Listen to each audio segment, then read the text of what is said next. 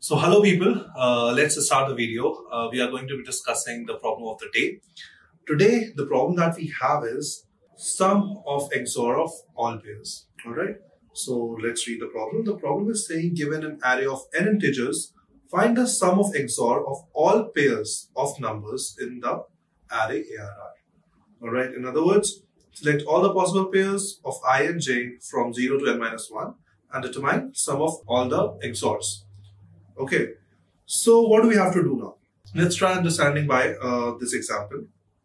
Here is the example, right? The example is saying we have an array. The array is having three elements, which is 7, 3 and 5, correct?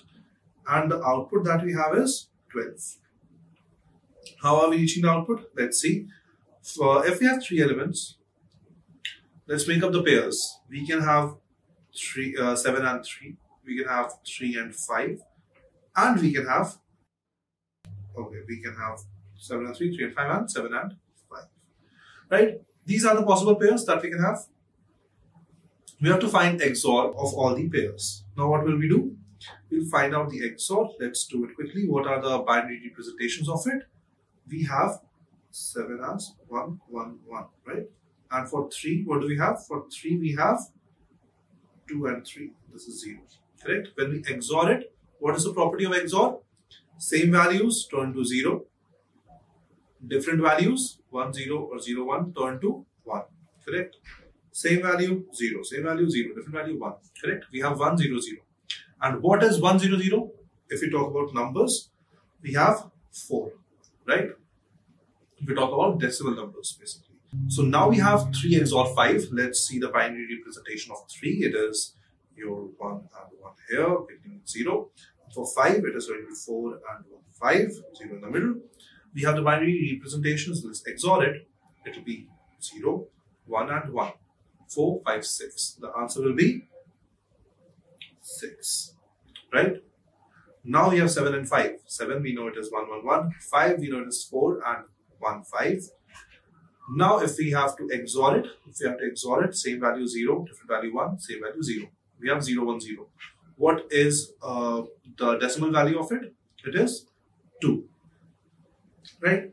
So we have found out all the XORs, all the XORs of the possible pairs.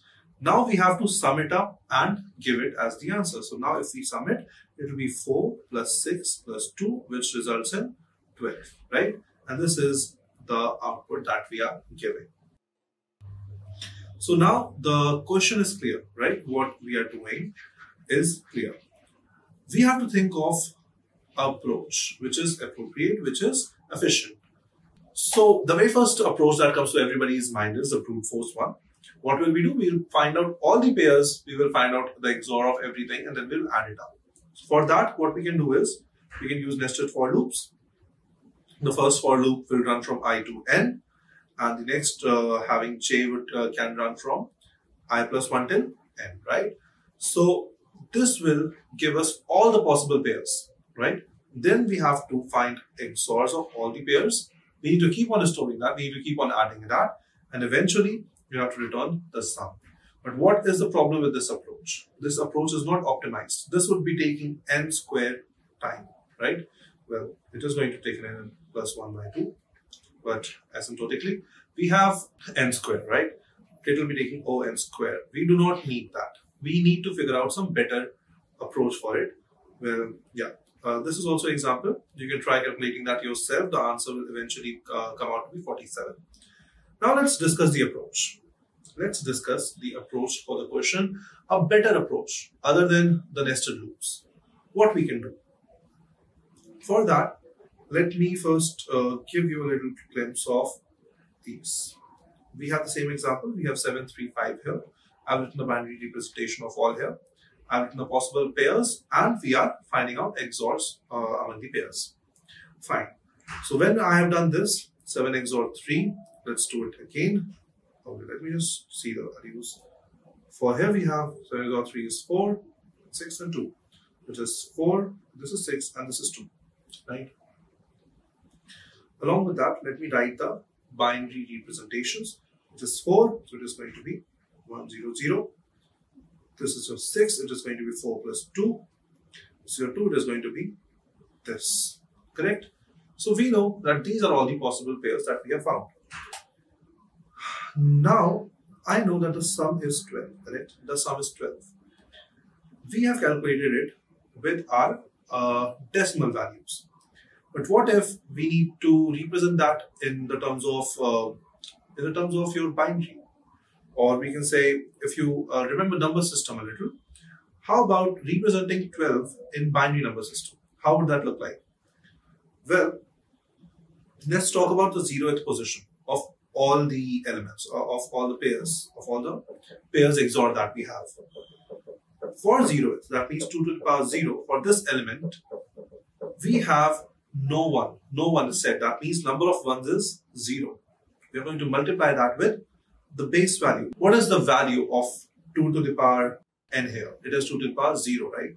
So we have this value, correct? Then what should we add with it? We have to say 2 to the power 1. How many ones do we have here in this first column? We have two ones this time.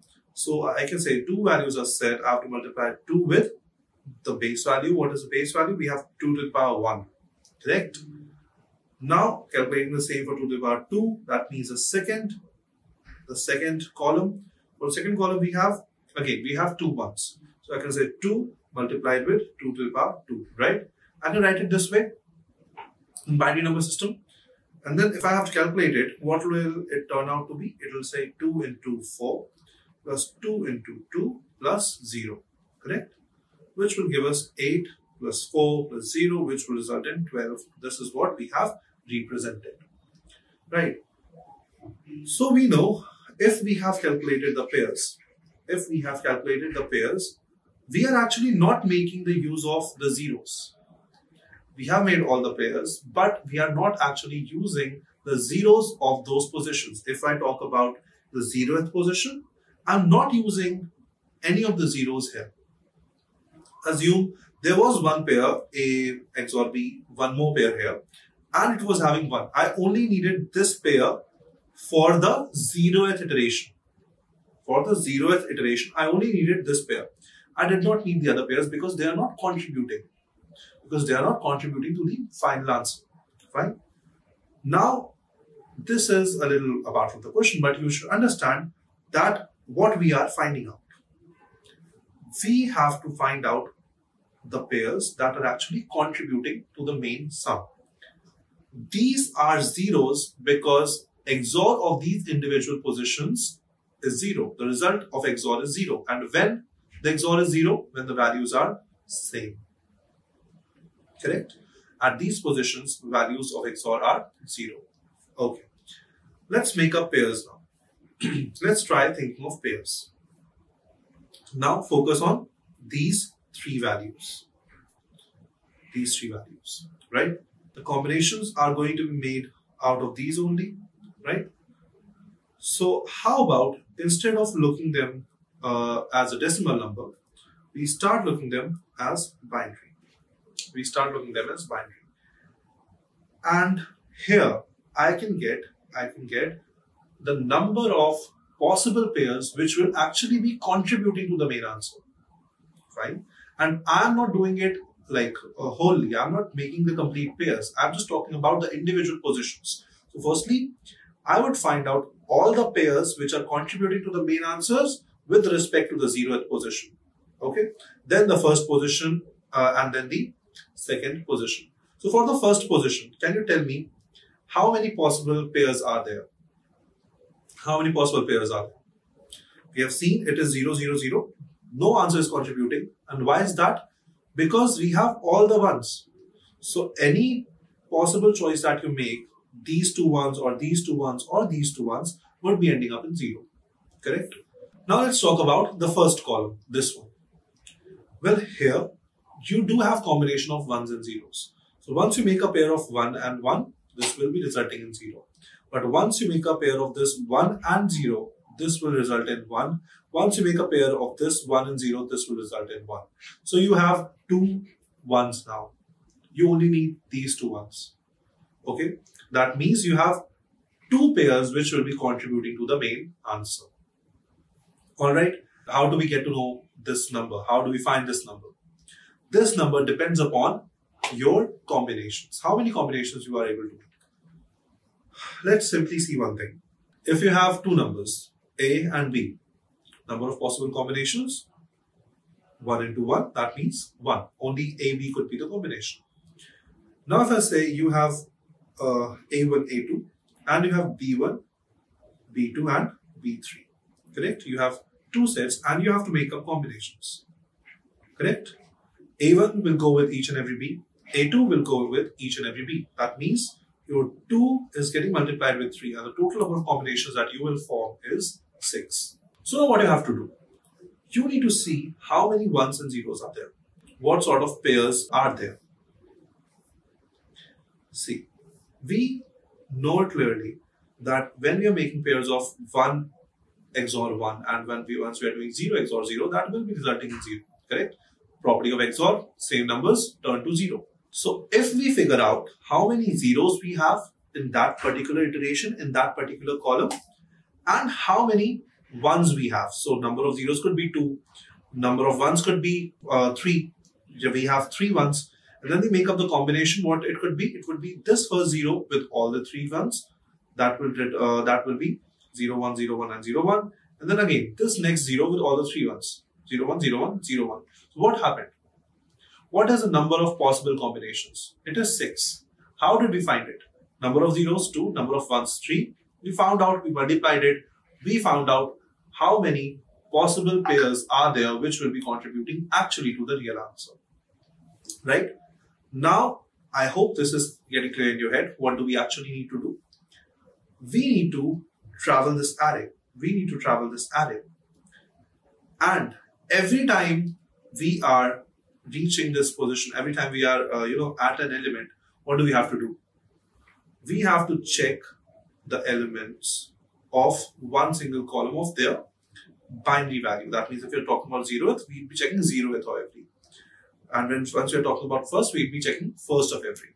Once we're talking about uh, second, we'd be checking off, uh, we'd be checking second of every element, right? Now, what do we have to do? Correct? We have to figure out for every column, for every position, be zeroth, first or second, for every position, we need to calculate number of ones and number of zeros correct? Because once we are making, once we are going to make combinations of ones and zeros, only then it will be acceptable answer because that will result to one and one we have seen is contributing to the main answer, correct? Now I hope the motive of uh, the motive that we have molded so far is clear to you. So after that, once we have received the number of ones and number of zero, what we are going to do? We are going to multiply that to find out number of pairs, number of possible pairs. Once we have found out that, uh, let's say, here two pairs are there who are actually contributing, what do we have to do then? We have to find out the, you can say, magnitude or the value it has. Two pairs multiplied with how many values will they be generating? This depends upon the position, upon the, you can say, the ith column that is has when we're talking about the binary representation. So if you're talking about the second column or the second position, we are, uh, we are filling the second position. So two pairs for that second position will actually be making 2 to the power 2. That means that will be resulting in 2 multiplied with 4 and 8 as the main answer that we have to keep on adding. Alright, now let's try to implement this. Well, the code is here. Let's see what is happening. We, are, uh, we have just initialized one answer variable which will be uh, storing the answer eventually and we are returning that. Then what do we have to do? I've taken this length equals ARR. That means I am just calculating my length of my array. then I'm doing this thing for 32 times. Why? Because the numbers that are that we are given the range of are going to be less than 32 only. They are not going to, uh, you know, go beyond 32 bits. All the integers that we are taking are going to be inside 32 bits. Now, because we have to do this, because we have to uh, run this for, what we are actually running it for? We are running it for calculating, again, just what we have seen for the zeroth column, for the first column, for the second column, for the third column, up till for the 31st column. Okay, like that. For the 31st column, we are going to be calculating this. What we are calculating? We are calculating number of ones. We are calculating number of zeros. So for those, I have uh, I have two counters, zero count and one count.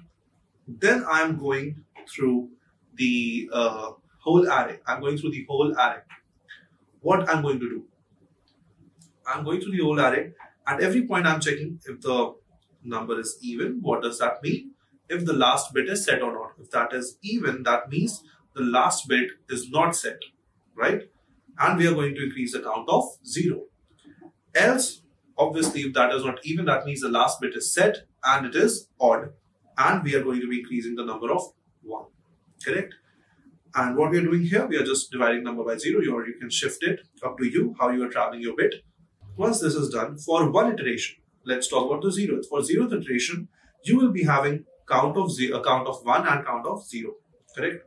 To find out number of possible pairs, you need to multiply those, right? If you have two zeros and three ones, again, the answer is going to be six for all the combinations. You have the number of pairs there. Then what will be the value? What will be the value that will be contributing to your main answer? That is going to be a pair multiplied with the two power you uh, the two's power you have. It, so this is just for you know, depending upon the iteration, you need to do it two to the power zero, two to the power one. This is just for that. Okay. Now what do we have to do? We have to calculate. We have to have the sum value, the main counter that we have. We are going to keep on adding all the values in it. You're going to keep on adding all the values to it. Once that is done, we have to return sum. Okay. I hope the approach is clear to you and you understand that why we are traveling this vertically, why we are traveling all the numbers with the respect of their binary representation because this is actually bringing it down to ON. How?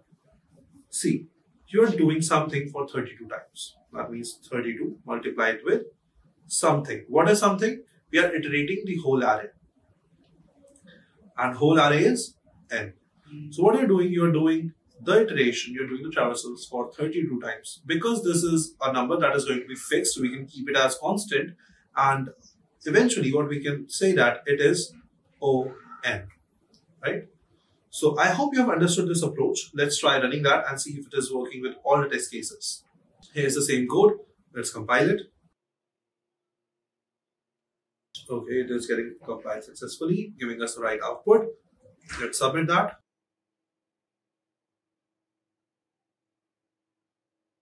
Okay, so it is passing all the test cases. Uh, I hope you've understood the problem and this problem was really interesting. If you still have any doubt, try to rewatch the video and just tell me in the comments, did you like the explanation or not? Alright, uh, see you guys in the next video. Thank you so much.